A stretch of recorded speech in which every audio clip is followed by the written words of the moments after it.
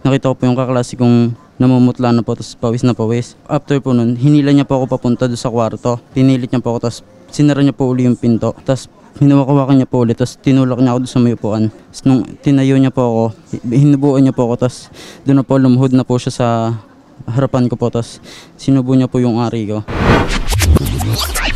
Nasabi niyo po sa aming research na yung kaso po tungkol dun sa teacher na nang haras sa inyong anak ay nasa korte na pala. Opo, nasa korte na po. Ang gusto lang po namin, sir, ay talagang matanggalan po siya ng lisensya para hindi na po siya makapagturo kahit sa ang school. Ah, sa PRC. Sa PRC po. Yung anak niyo lang ho ba ang biktima? Hindi po, pito po sila. Pero tatlo lang po kaming nagdemanda. Bakit? Ano nangyari doon po sa apat na magulang ng mga biktima? Hindi po namin alam. Sa katunayan nga po, eh, nung sabing pupunta dito, sabi ayaw po. Marami Natakot. po silang dahilan. Kahit kukunin po namin testigo, ayaw po nila.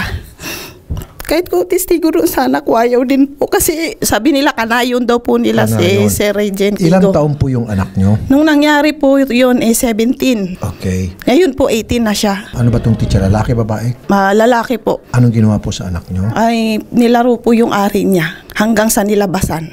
Okay. Nung may parating niyo po to sa school, anong ginawa ng school? May guidance teacher pong pumunta sa bahay, tapos pumunta po kami ng school. Pagkatapos po sa school, pinasulat po sila ng, lahat po silang biktima, pinasulat ng statement. Opo. Pagkatapos po magsulat ng statement, pumunta po kami sa DSWD. Pagkatapos po sa DSWD silang parang kinausap po, kinaunseling, pumunta po kami sa police station. Doon po kami kinuan nung taga DSWD. In fairness sa school, umaksyon naman. Yung school po, umaksyon naman po sila. Okay. Hindi ba sinuspindi yung guro muna habang uh, inimbestigan yung kaso? Walang Hindi po. ganun? Kusa po siyang nag-resign. Ano to, after na mangyaring insidente at na-report nyo sa school, ilang araw, linggo o buwan bago siya nag-resign? Mag-report po kami sa pulis ng October 18. So, biyernes po yun eh, Sabado, Linggo. Monday po hindi na siya nagturo. Nag-resign na daw po. Mabuti naman Opo. na iparating nyo na po ito sa DepEd. Opo, ang sabi po ng DepEd, hindi na po namin mahabol kasi po nag-resign na po yung teacher. Tama nga naman, yung admin case na pwede nyong i-file sa DepEd, immaterial na po yun sapagkat kusa na nag-resign tong teacher. Opo, yun nga However, pong sabi. yung pong sa kagustuhan nyo na matanggalan siya ng lisensya sa PRC, pwede yon Opo. Gawin natin. Now, meron pa tayong kasama isang biktima. Oho. Eh, Kaano-ano nyo po ito pang isang biktima? Hindi po sila magkaklase sir eh, magkaibang strand po. Pero isang guro lang. Isang guro lang po. Pareho po ang kuan sir, pasa ng thesis. Sino po. kasamang kamag-anak nito? Wala po sir eh, hindi po sinamahan kasi yung ate niya po may trabaho, hindi po pinayagan. Tapos yung mother niya po, mahina po loob, baka po may mangyari. Ilang taong na po siya? 19, 19. Nung mangyari yon 18. 18. Ano naman pong ginawa sa kanya? Sinubo daw po nung teacher tapos may pinainom pa po sa kanyang gamot pagkatapos. May pinainom pong antibiotic. Sige po. Lahat po yan, ma'am. Pag-usapan natin mamaya sa taas, ha? Opo.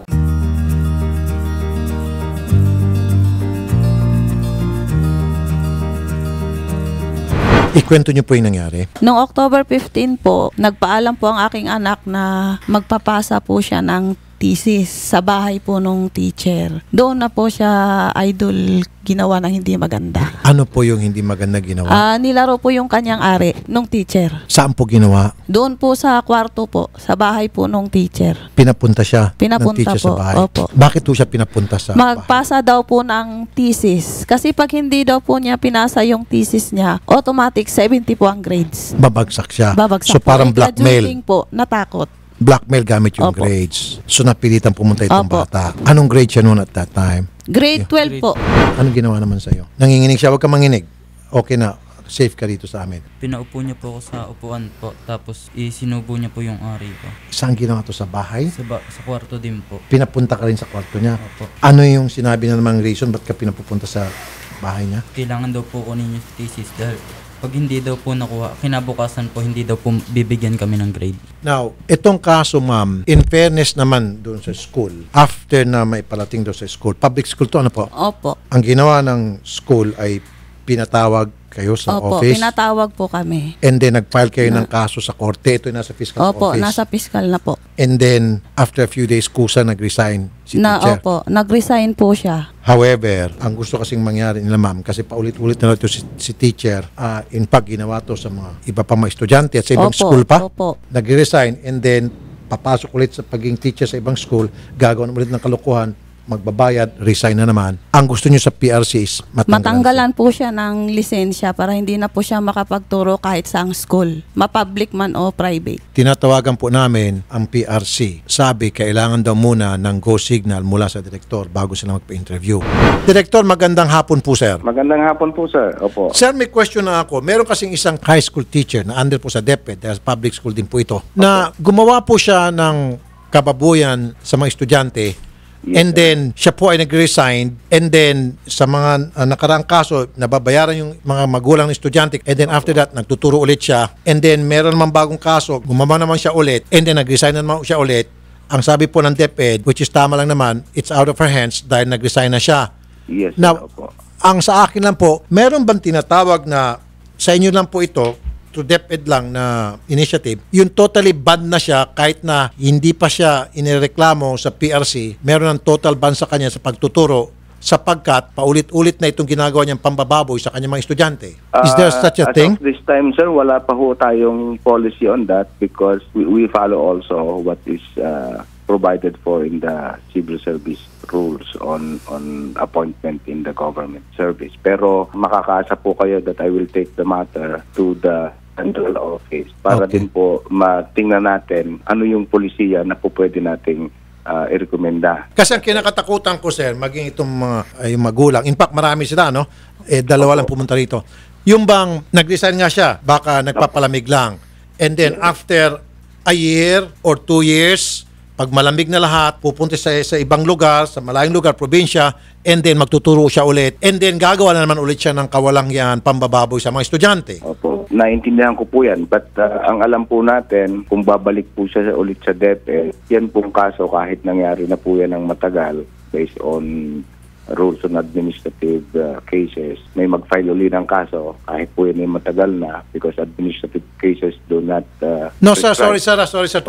Ang ibig sabihin, sir, wala ba kayong ginagawa yung parang blacklisting na ah, meron siyang kaso noon, ah, kung sino man yung mga guro na merong ginawang hindi tama o masama sa estudyante, iba blacklist yan kahit nasabi nag-resign para kung sakali man, halimbawa, after ah, a period of time na lumamig na, siya ay ah, nag-apply sa pagiging guro sa ibang eskwelahan at nakita niyo pangalan niya, ops, blacklisted yan, hindi pwede kasi meron niyang ginawang kabalastugan, nakipag-areglo lang yan noon sa ah, biktima, hindi na naman pwedeng payayagan yan kasi ayaw na namin magkaroon pang panibagong biktima yung taong yan. Is there such a as of thing? this time, as of this time, sir, wala po pa tayong polisiya. But uh, Wala. katulad po ng nasabi ko kanina, pwede po naman natin yan na i-recommenda for policy formulation.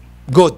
Sige sir, kasi nga po sir, marami na kaming ganitong klase mga insidente. This is not the first time na yung siguro gumawa ng kababuyan and then nagpahinga, lumipat lang sa ibang lugar and then tinanggap ulit na magturo and then gumawa na ulit ng kalokohan. So para Opo, ma-stop na yun sir, magkaroon kayo Opo, ng blacklisting, pero- iba Opo, blacklist pero yung tao. po, yes sir. Teacher? Pero initially po, meron din naman po tayong ano, ah, background investigation na ginagawa sa mga aplikante. At isa po yan sa paraan din natin para malaman. Hindi, kung- kaya nga sir, sorry sir, ha, hindi na nga po nagkakaroon ng investigation kasi bago makapag-imbestiga po kayo sa DepEd, siya po ay nag-resign na agad. Wise po eh. Yes, sir. And then Yes, nagkikipag-areglo po sa mga biktima. And then after that, pag malamig na, nag-apply, eh nagagawa ulit ng kalokohan. At kapag halimbawa, nagreklamo yung magulang, nag-resign na naman ulit.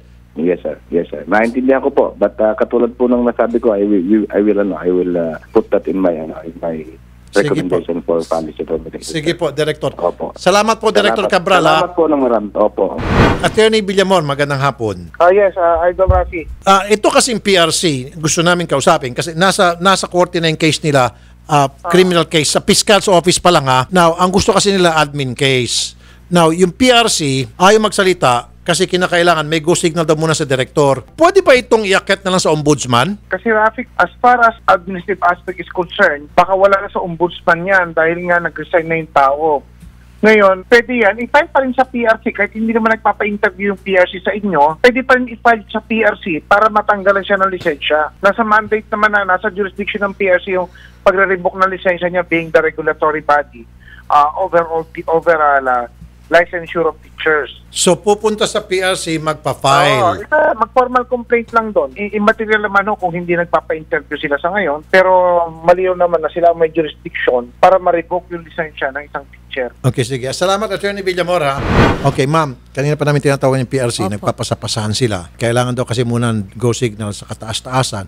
May sinasabi silang direktor. Pero willing po sila mag-assist. Papuntahin na lang po. Sige, sasamahan po namin kayo, ma'am, sa PRC. At para po sa kaalaman ng marami, hindi lang po itong unang pagkakataon. In fact, marami pa akong mga pending, katulad sa kanila, na hinaharas at minumolestya, inaabuso ng mga guro. In some cases, nag-cooperate yung DepEd, pero may mga times na mabagal yung DepEd. May mga times na kailangan yung mga estudyante pa ang lilipat ng school dahil kinakampihan ng school at maging ng DepEd yung guro. Dahil nga raw, meron din tawag ng Magna Carta, which is tama nga naman. Pero ang tanong naman, yes, paano naman yung mga estudyante? Pangisingisi lang si guro habang si estudyante natutrom at ayaw na pumasok. Ang kagandahan dito, siguro na mismo nag-resign. Yun nga lang, after ilang buwan, isang taon, baka bumalik siya ulit. Sana hindi nga. Pero we will do everything, we will make sure na itong si guro ay matatanggalan ng lisensya. Kung ako sa iyo, Mr. Javier, mamili ka, ikaw na mismo mag-resign sa PRC bago sa magkahiyaan na ikaw ay matatanggalan ng PRC license. So kung ako sa iyo, ikaw na mismo pumunta sa PRC at ikaw na mismo ang mag-volunteer. Total, nag-resign ka sa school eh. Mag-volunteer na isurrender yung lisensya mo kaysa naman magkahiyaan at mapahiya ka. Yan sinasabi ko. Mag-resign ka, tanggalan ka ng lisensyang kusa sarili mo sa pagka-teacher. Nang sa gayon, wala ka nang mabiktima pang mga estudyante mo. Monday po, pupunta siya sa PRC. Kagandahan naman ito, yung PRC pala very cooperative. Sabi, yes, we will help. Ayaw lang nila magpa-on air kasi wala ro si direktor. Pero gagawin daw nila kung anong narapat. So magpa-file po tayo ng formal complaint doon. Sisiguraduhin natin matanggalan to ng lisensya. At yung request ko ulit, ma'am, wag ko kayong papareglo. Hindi po talaga, Sir Idol. Kasi po kaya nga po kami nagpunta dito eh. Kasi gusto po namin i-hostisya. Saka siya po ay matanggalan talaga ng lisensya po. Kaya sa inyo po kami lumapit. At makulong. Opo, yun po. Okay. Now, ito pong sa dalawang bata, ipapatingin po namin to sa psychiatrist. Gastos ko po yan. Meron Opo, po maraming kaming po. kilalang psychiatrist. Kilala pong psychiatrist to. Opo. Siya talaga ang pinupuntahan sa ganitong mga kaso at siya ang kinukonsulta ng mga korte sa mga ganitong klaseng kaso ng mga na-trauma ng mga victims. Doon po natin siya dadalhin. Opo. Now, pag sinabi po nung psychiatrist na itong isa okay na nakakoop up na siya, walang problema, Opo. good. Pero pag sinabi, halimbawa, di sa isa, itong isa nakita ko nanginginig kanina Opo. eh. Kanina pa sa baba, nanginginig siya eh. Pag sinabi na kailangan niya ng treatment, so okay lang sa inyo na eh. Tuloy-tuloy yung treatment natin. Nasa kanya po. Ipapatherapy natin. Opo. Now, how about yung iba pang mga ah, estudyante? Ano Ay. sa palagay niyo? Ayoko na po silang kuanin, Sir Idol. Basta po yung sa amin eh, yung sa anak ko. Yun lang po akin at batanggalan na po siya ng lisensya. Paano yung approach ni teacher sa inyo? Pa- paano niya kayo pinapakiusapan? Pasa na daw po yung thesis namin noon. Pinag-rush na po kasi yun eh. Kasi po, nag-exam din po kami noong October 15. Eh, hindi pa po tapos yung thesis namin noon. Tapos, nung ano po, sabi po, pwede na daw po sa bahay na lang magpasa. Kaya po sa bahay po nila, pumunta po kami doon. Tatlo po kaming magkakagrupo. Hindi ko na po papangalanan kasi po yung isa po, ayaw na po niya. Okay, sige. Anong oras to? Umaga, tanghali, gabi? Gabi po. Weekend? Weekdays? Weekdays po yun po. Nung nasa bahay na po kami noon, nung ipapasa po namin yung thesis namin, hindi po muna niya chinekan. Kasi po may gusto pa pong ipagawa sa akin. Sabi po niya, masama daw po pakiramdam niya noon, kaya po nagpahilot na lang po sa akin. Kaya po napa, napilitan po ako kasi po yung thesis po namin na yun, pina, di po niya chinekan eh. Kaya po sabi ko, hinilot ko na po din siya noon. Nasaan yung ah, dalawang pangkasamahan? Nandun po sa kanila din. Okay. Nasa may sala po sila noon, sa may parang garahe po ata yung sa bahay nila. So sinabi niya masamang pakiramdam niya, hilutin mo muna. So ano ginawa mo? Yun po, hin- hinilot ko po siya. Hinilot ko po siya nun sa kwarto po niya mismo. Kasi po, pinasama po ako eh. Kasi po ano po talaga, na hinilot ko po talaga si Sir din nun. Eh, hindi ko naman po naisipan ng mali siya na ganun po pala. Parang may gusto na po palang gawin sa akin. Hindi ko naman po namalayan na ganun po pala. Yung kalalabasan. Inihilot ko na po yun. Para pong hinahawak-hawakan na po yung hita ko. Tapos pinipisil-pisil niya na po. Tapos nung lalabas na po ako, para pong ayaw niya. Sabi niya, saglit na lang daw po. Tapos hinilot ko pa rin po. Kasi po ano sir eh. Sabi po niya talaga eh, talagang masama daw po pakiramdam niya. Kaya po nung nangyari po yun, akala ko po, chichikan na talaga niya, nung tumayo siya. Bigla niya po sinara yung kwarto. Tapos di na po ako nakapalag nun eh. Bigla po kasi yung pinuwersa, sinandal po ako sa pader. Tapos yun po, yun po, dinikit niya po nang dinikit yung puwet niya sa akin po. Tapos po, yun po, doon niya po ginawa ng ginawa yun. Hinaras po ako ng hinaras. Tapos po, pilit niya po nilalabas yung Ari ko po noon, nung ginagawa po niya yon. Tapos ano po, nung mga bandang ano po, inupo po ako sa kama, tapos umupo po sa hita ko. Hawak-hawak po niya yung ari ko noon. Pinipisil-pisil po niya, kaya po hindi ko siya na ano, kasi po pag tinutulak ko siya, pinipisil po niyang maigi. Paano ka nakawala, nakapiglas? Tumayo po siyang, pumupo, tapos pumunta po siya sa may lamesa. Lumabas na po ako ng kwarto noon. Tapos, anong nangyari dun sa dalawang mga kasamahan? Hindi ko na po nabanggit kasi po natahimik na po ako eh. Pero pagkatapos mo, pumasok yung dalawa naman, tinawag niya, isa-isa. Yung isa po, na naganon din po niya pero nananahimik na po din kasi yung isang yan eh. So pagkatapos sa'yo na hindi siya naging successful, although may nangyari hindi maganda, merong sumunod naman na estudyante, pinatawag niya sa kwarto. Opo. Ganon din siguro nangyari nung sa panglawa. Mm, Mas malala po siguro. Ano yung sabihin mas malala yung nangyari? Para pong mas may iba pa pong nagawa si sir doon sa kaklase kong yun. Yung sa pangatlo, Hindi po nagalaw yung isa eh. yung sa'yo naman, ano yung ginawa? Pinapunta po kami sa kanila kasi pinapakuha po yung thesis kasi po kailangan na pong maayos po pa- kasi ipapasa na po kinabukasan. Tapos sinabi niya po sa post niya po na wala, hindi daw po kami bibigyan ng grade pag hindi daw po naipasa. Tapos pumunta po kami dalawa nung kagrupo ko kasi po yung leader po namin hindi sumama. Pagdating po sa bahay nila, pinapunta po niya kami sa likuran ng bahay nila. Tapos may pinaayos po, nagpatulong po siya magpalagari ng cabinet. Tapos nung pinaglagari niya po yung ano, sabi niya po sa akin, may papabuhat daw po na kahon. Sinamahan ko po. Di andun lang po ako sa labas ng kwarto. Iniintay ko po kung ituro yung ano. Pinapasok po ako dun sa kwarto. Tapos bigla pong isinara yung pinto. Tapos hinawakan na po yung ari ko. Nabigla po ako nun. Tapos Nung sabi ko po ayoko po, pinalabas niya po ako, pinapunta niya po ako sa likod. Tapos tinawag niya yung kaklase ko, saglit lang po yun. Bigla pong paglabas po nila, nakita ko po yung kaklase kong namumutla na po, tapos pawis na pawis. After po nun, hinila niya po ako papunta doon sa kwarto. Pinilit niya po ako, tapos sinara niya po uli yung pinto. Tapos hinawakan niya po ulit, tapos tinulak niya ako doon sa may upuan. Tapos nung tinayo niya po ako, hinubuan niya po ako, tapos doon na po lumuhod na po siya sa harapan ko po, tapos sinubo niya po yung ari ko.